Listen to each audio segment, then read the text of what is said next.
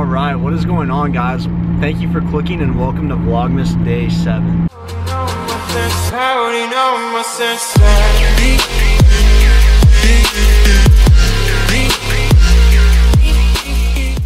Alright guys, welcome to the commentary. So a little prelude to get this started. Uh, on this particular morning before the workout, uh, it was extremely icy outside and I promised my mom I would help her take some stuff out to my dad's car for work. She had to take a bunch of oil and stuff because he's a mechanic.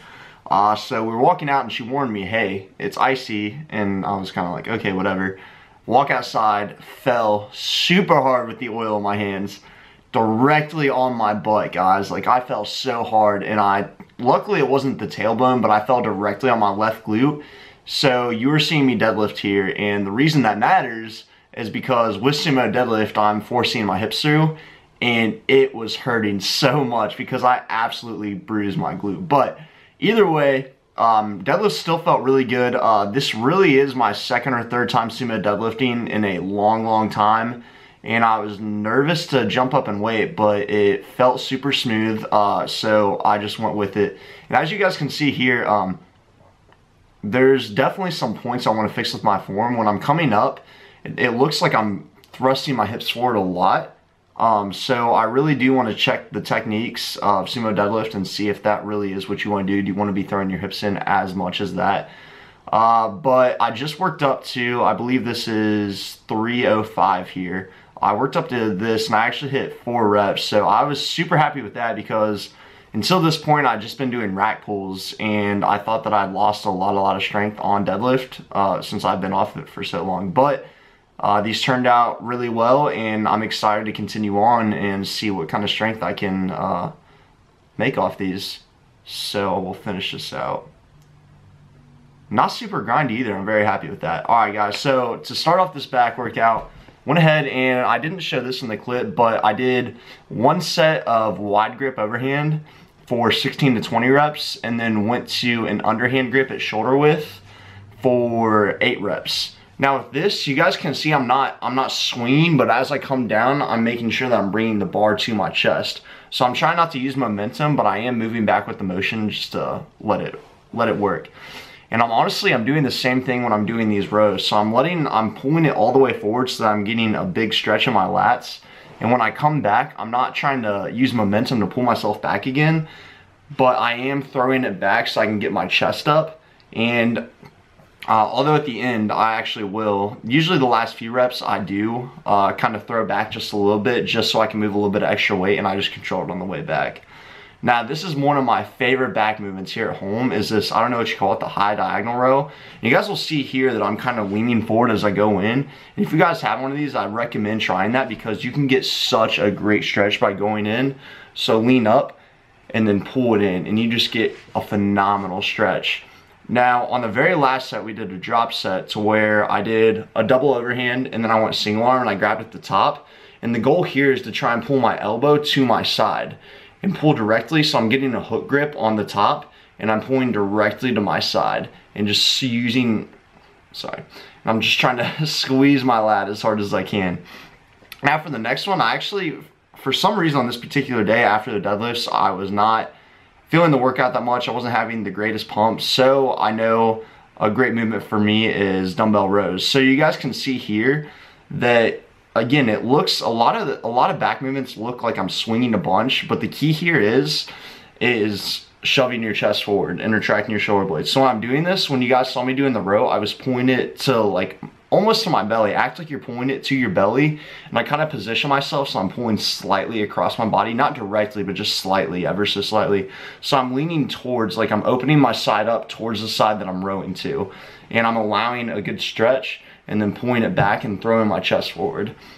Now for this last one, we did a superset of a uh, lat pullover, uh, and I don't know what you want to call these. I actually have seen, uh, I saw a video of Kai Greene doing these yesterday, and he was doing 225. But essentially here, try and keep your elbows, almost force your elbows forward, and bring it to the top of your sternum, upper chest area, and just retract your rear delts. That is it, guys. I'll check in with you guys soon. Just a side note, guys, Mama McGrath did drive me to the gym again this morning because there was more ice out and my car doesn't have heat, but I'm proud to say that I'm driving my car now and it has heat. It's lit. Literally, like, kind of lit because I have heat.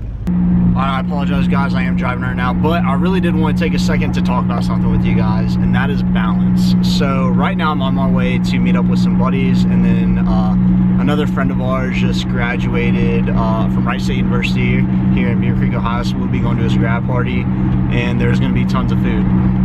Am I going to limit myself? No. Did I kind of plan ahead? Yeah, I went ahead and had a meal just so I didn't go in there hungry and just eat just a crap ton of food. But I'm definitely gonna enjoy myself and I'm not gonna not eat. And guys, like, right now, I'm not in prep. I'm not, like, I, I have a goal in mind and that is to put on size, but it, right now it's it's not that serious if I enjoy myself like this. Like, it's all about balance, guys. And you, you have to realize that, yes, in this life, you do, you need to be consistent and you need to be on top of things. You need to be strong-willed and stuff like that but you also have to realize that there's times where you need to balance and that's what's great about this lifestyle is that you can use balance that's what's great about you know if it fits your macros but that's a whole nother topic. But balance is such a key aspect in everything because it really keeps you sane. I mean a great way to move ahead is you know um, if you have a gas pedal guys you know push it down a little bit and just kind of kind of release it and then push it down some more you don't if you're striving towards something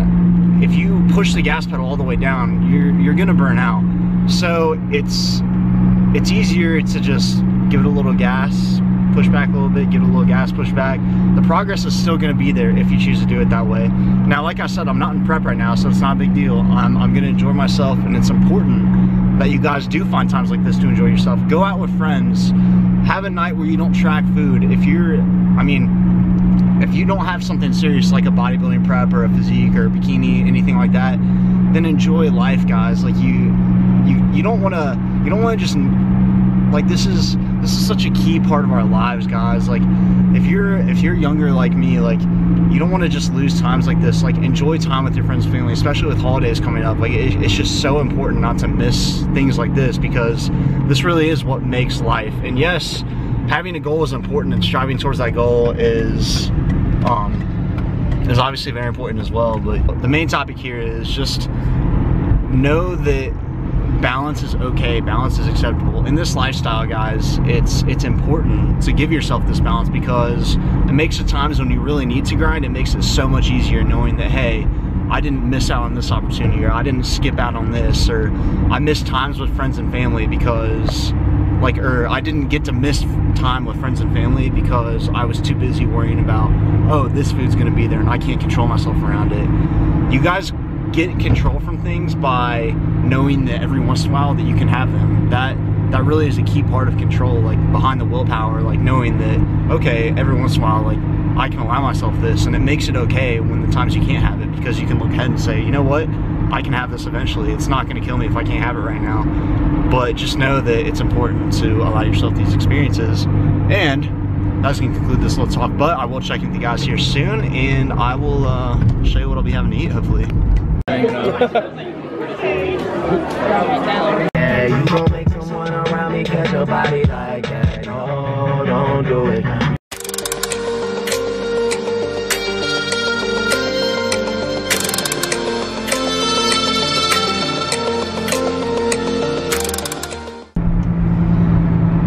is freezing outside right now and having the luxury of heat in my car truly does feel like a luxury. And that just made me think, guys, like, I am so blessed just to have a car that has heat now. It might not be the most attractive, the most expensive, the nicest car by any means, but it gets me from point A to B and it now has air, not air, it had air. Well, actually, it doesn't really have air, but it has heat and I'm extremely blessed to say that. So just wanted to share that with you guys.